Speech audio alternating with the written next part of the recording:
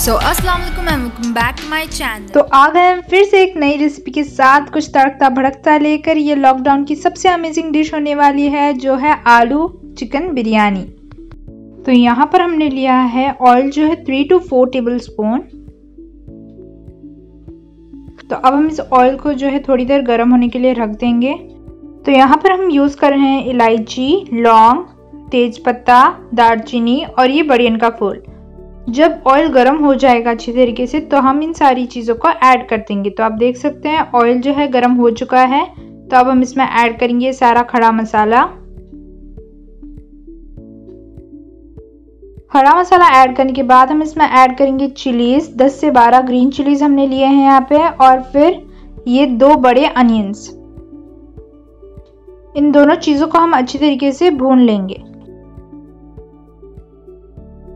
आप देख सकते हैं अनियंस और चिलीज का कलर जो है थोड़ा सा चेंज हो गया है। तो अब हम इसमें ऐड करेंगे टू पोटैटोज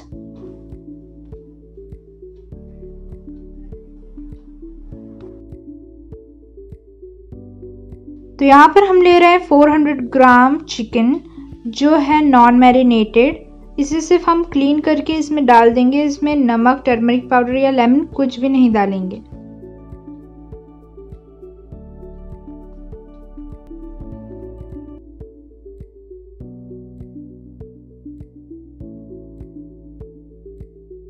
चिकन को थोड़ी देर भूनने के बाद जो है हम इसमें ऐड करेंगे salt as per your taste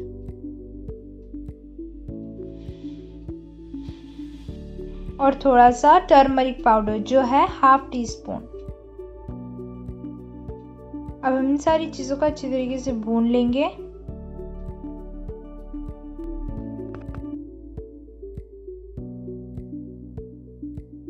तो अब हम इसमें ऐड करेंगे गार्लिक पेस्ट जो है two tablespoon and one tablespoon of ginger paste तो अब हम इसे थोड़ी देर के लिए भून लेंगे।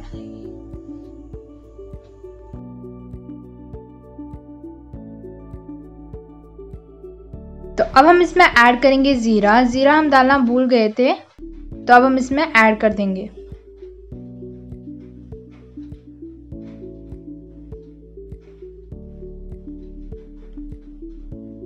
और अब हम इसमें ऐड करेंगे चॉप किए हुए टमाटोज तो हम यहाँ पर यूज़ करेंगे हाफ़ लेमन का जूस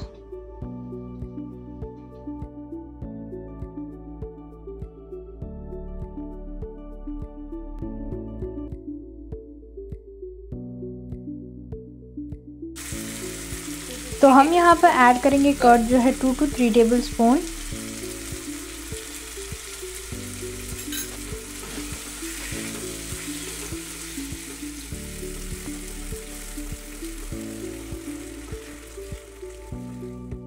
तो यहाँ पर हम यूज़ करें एवरेस्ट शाही बिरयानी मसाला तो ये ऑप्शनल है आप चाहे तो इसे यूज़ कर सकते हैं या फिर कोई और बिरयानी मसाला भी आप इसमें ऐड कर सकते हैं।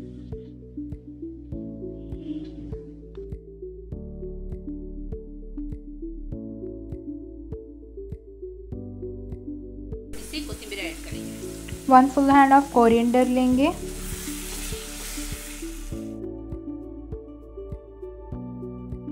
अब हम इसमें ऐड करेंगे शुगर जो है हाफ़ टी स्पून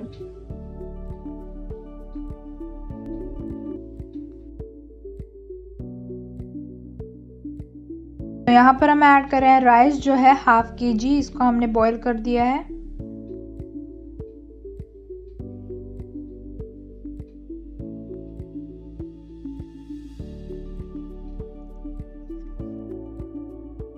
अब हम इसमें ऐड करेंगे घी जो है वन टेबल स्पून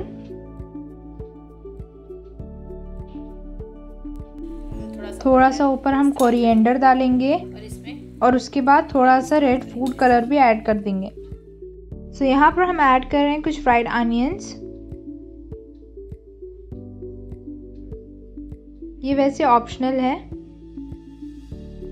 तो अब हम इसे लिड लगाकर ढक देंगे और 10 मिनट तक इसे लो फ्लेम पे रखेंगे। तो फाइनली अब हमारी बिरयानी बन चुकी है रेडी तो आप देख सकते हैं चावल कितना खिला खिला बना है।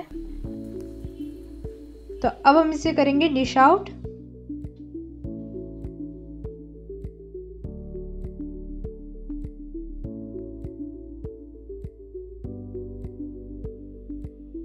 तो अब ये हमारी बिरयानी बन के रेडी है टेस्टी डिलीशियस टेम्पटिंग आप भी कीजिए, हमें कमेंट सेक्शन में ज़रूर बताइए कि कैसी बनी है। Thanks for watching